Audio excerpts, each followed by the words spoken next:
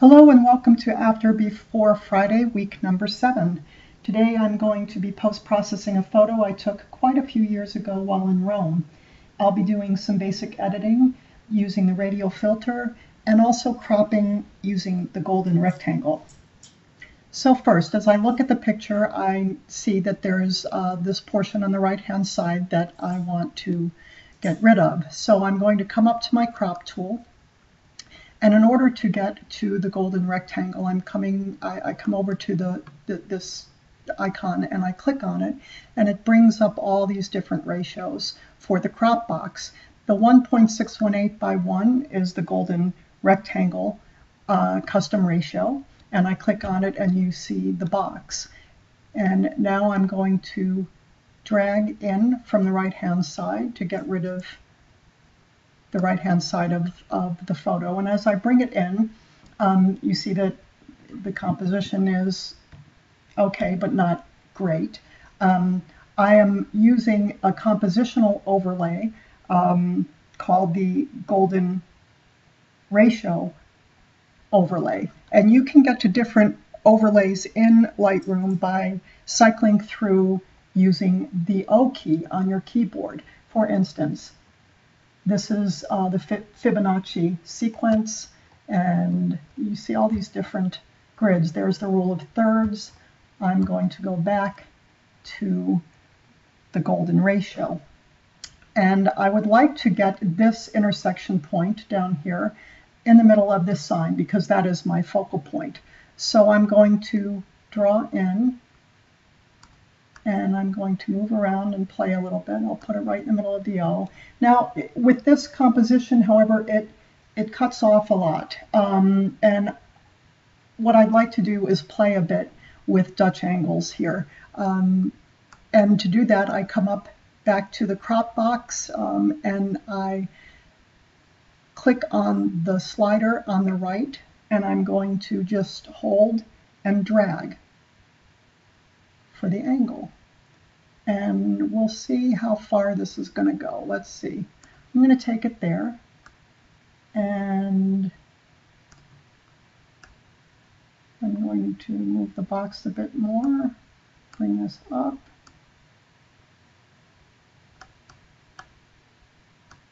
And I think, there we go. That's about where I want it. So I will click done. And now I have to start working on the photo itself. So the first thing I'm going to do is I'm going to come down into the basics box and I'm going to boost the clarity. I'm going to bring it up to about 20. And I'm also going to decrease the saturation. Um, it's just, it's a little oversaturated for my tastes. So I'm going to bring it down. To about there. And then I'm going to jump ahead and I'm going to go into the tone curve and I'm going to choose medium contrast just to give it a bit more punch. I will come back up to the basics. And here I'm looking at the flowers on the left and I want to open up the shadows.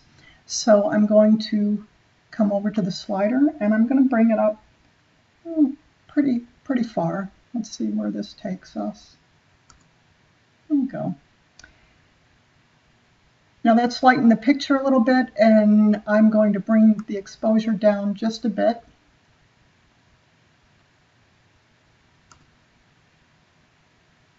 And I'm also going to increase the whites. I don't have a white point yet looking at the histogram, so I'm going to increase the whites bring them up a bit.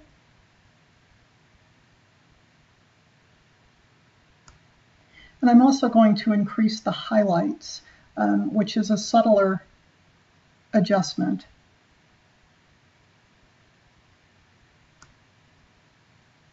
I also don't have um, a pure black point in the picture, as you can see here. Um, so I'm going to decrease the blacks.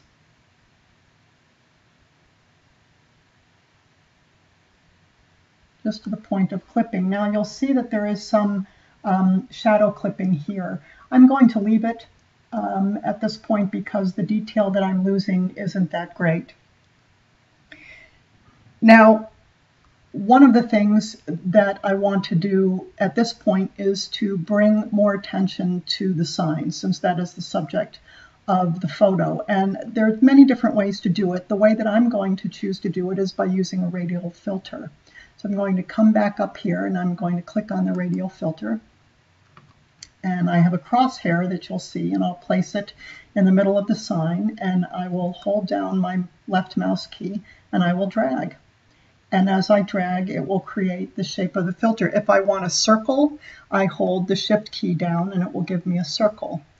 Um, because I want an oval, I will not hold that shift key down. Now, once I let go and the shape is established, if I can make it smaller and larger in the same shape by holding the shift key down and clicking on one of these anchor points and dragging. Now you'll also notice because the because the picture is angled, the the uh, radial filter is not, and I and I want to rotate it. So I can hover near one of these anchor points, and you'll see that double arrow, and I'll click and hold, and I will rotate. I want to make it just a little bit bigger, and because I'm not holding the shift key, I can change the shape, bring it in a little bit more. And I just want to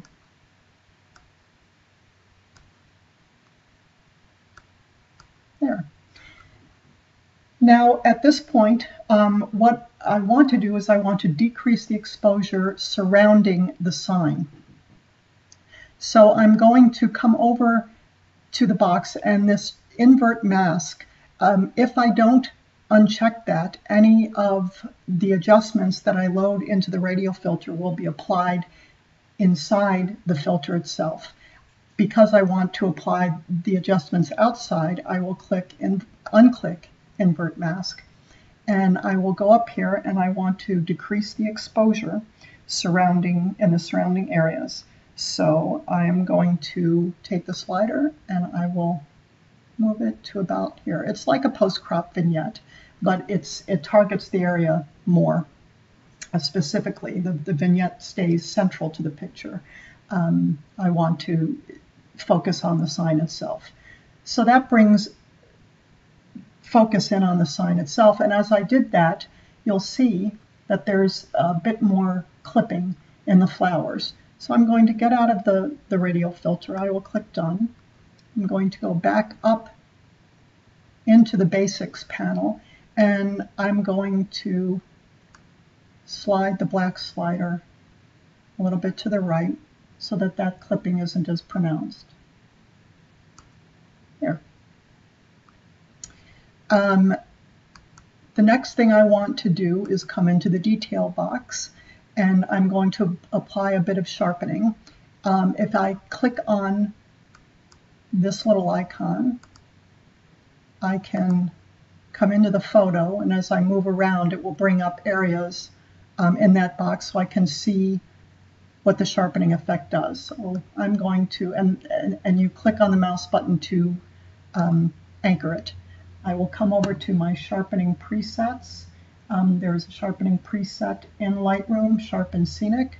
Click on that. And it gives, and it does in fact, um, give more clarity and sharpness to the lettering on the sign.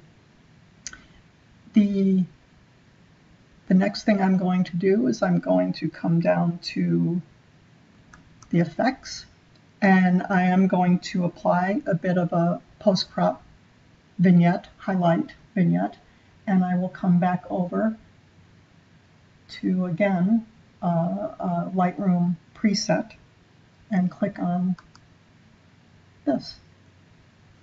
Again, we've got a bit of clipping in the flowers. I'm going to come back over. I'll pull the blacks slider to the right just a bit more.